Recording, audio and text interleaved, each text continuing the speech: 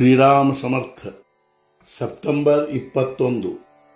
ಅಂತರಂಗ ಅರಿತುಕೊಳ್ಳಲು ನಮ್ಮಿಂದಲೇ ಪ್ರಾರಂಭಿಸಬೇಕು. ಮತ್ತೊಬ್ಬರ ಮನಸ್ಸಿನಲ್ಲಿರುವುದನ್ನು ತಿಳಿದುಕೊಳ್ಳುವುದು ಬಹಳ ದೊಡ್ಡ ವಿಷಯವಲ್ಲ. ಯಾರ ಮನಸ್ಸಿನಲ್ಲಿ ಅದನ್ನು ತಿಳಿದುಕೊಳ್ಳಬೇಕಾಗಿದೆಯೋ, ಅವರ ಮನಸ್ಸಿನೊಂದಿಗೆ ನಮ್ಮ ಮನಸ್ಸನ್ನು ತಾದಾತ್ಮ್ಯಗೊಳಿಸಿದರೆ ನಮಗೆ ಅದು ತಿಳಿಯುತ್ತದೆ. ಆದರೆ ಅದು ಅಂತಃಕರಣ ಶುದ್ಧವಾಗಿದ್ದರೆ ಮಾತ್ರ ಸಾಧಿಸುತ್ತದೆ. ಇದನ್ನು ಸಾಧಿಸುವುದಕ್ಕಾಗಿ ಕೆಲವು ಕ್ರಿಯೆಗಳಿರುತ್ತವೆ. ಆ ಕ್ರಿಯೆಗಳನ್ನು ನಡೆಸುತ್ತಿರುವವರೆಗೂ ಅದರಲ್ಲಿ ಶಕ್ತಿಯು ಇರುತ್ತದೆ.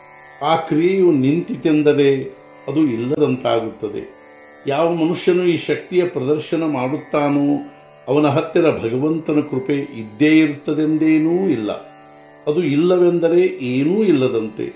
ಮನೋಗತ ಅರಿಯಲು ಒಬ್ಬರಿಗೊಬ್ಬರ ಭಾಷೆಯು ತಿಳಿಯಲೇಬೇಕಾಗುತ್ತದೆಂದೇನೂ ಇಲ್ಲ.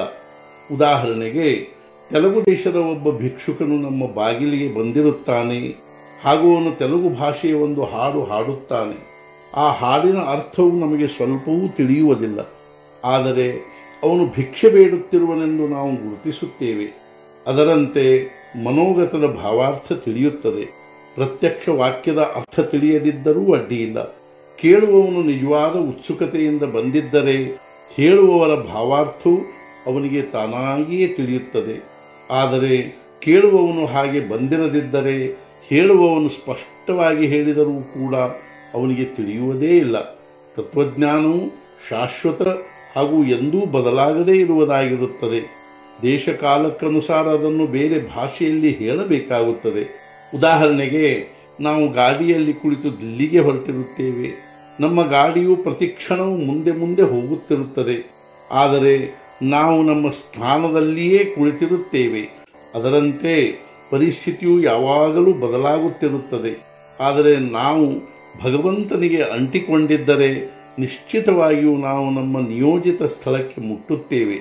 ಹೀಗಿರುವಾಗ ಪರಿಸ್ಥಿತಿಯು ಎಷ್ಟೇ ಬದಲಾಗುತ್ತಿದ್ದರೂ ನಡೆಯುತ್ತದೆ.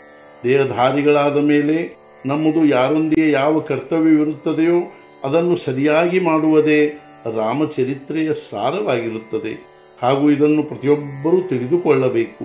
ರಾಮನ ಮುಂದೆ ಹೋಗಿ ನಾನು ಹೀಗೆ ಹೀಗೆ ಮಾಡುತ್ತಿರುವೆ ಎಂದು ಅವನಿಗೆ ಹೇಳಬೇಕು ಹಾಗೂ ನಮ್ಮ ಕಾರ್ಯಕ್ಕೆ ತೊಡಗಬೇಕು. ಭಗವಂತನನ್ನು ಸ್ಮರಿಸಿ ಕಾರ್ಯ ಮಾಡುತ್ತಿರುವಾಗ ಯಾವುದು ಯೋಗ್ಯವೆನಿಸುತ್ತದೆಯೋ ಅದು ಅವನ ಇಚ್ಛೆಯಿಂದಲೇ ಇರುತ್ತದೆ ಎಂದು ತಿಳಿದು ಕಾರ್ಯ ಮಾಡಬೇಕು. ಯಾರು ಈ ರೀತಿ ಮಾಡುತ್ತಾರೋ ಅವರಿಗೆ ಸಮಾಧಾನವಾಗಲಿಕ್ಕೇ ಬೇಕು. ಭಗವತ್ ಕೃಪೆಯಿಂದಲೇ ನಾನು ಎಲ್ಲ ಕಾರ್ಯ ಮಾಡುತ್ತೇನೆ ಎಂದು ಅಂದರೆ ಅಭಿಮಾನ ಹೇಗೆ ಬೆಳೆಯುತ್ತದೆ? ಅಂತರಂಗವನ್ನು ಅರಿತುಕೊಳ್ಳಲು ನಮ್ಮಿಂದಲೇ ಪ್ರಾರಂಭಿಸಬೇಕು. ನಾನು ಎಲ್ಲಿ ತಪ್ಪುತ್ತೇನೆ ಎಂಬುದನ್ನು ನೋಡಬೇಕು.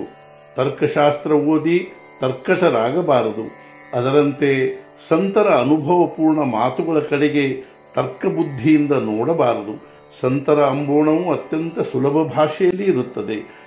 ಚಮತ್ಕಾರವೆಂದರೆ ಜನರು ಭಗವಂತನು ಇರುತ್ತಾನೆಯೋ ಅಥವಾ ಇಲ್ಲವೋ ಎಂಬ ವಿಚಾರದಿಂದ ತರ್ಕ ಮಾಡತೊಡಗುತ್ತಾರೆ ಹಾಗೂ ದೊಡ್ಡ ಗೊಂದಲದಲ್ಲಿ ಬೀಳುತ್ತಾರೆ. ಕೊನೆಗೆ ಅವರು ಇದ್ದಲ್ಲಿಯೇ ಉಳಿಯಬೇಕಾಗಿ ಬರುತ್ತದೆ. ಅಂದರೆ ಅವರ ಪ್ರಗತಿಯು ಕುಂಠಿತವಾಗುತ್ತದೆ. ಆದ್ದರಿಂದ ಭಗವಂತನ ಶ್ರದ್ಧೆಯನ್ನು ಸ್ಥಿರವಾಗಿಟ್ಟುಕೊಂಡು ಚಿಕಿತ್ಸೆ ಮಾಡಬೇಕು. ಇಂದಿನ ಮುಖ್ಯ ವಿಚಾರ.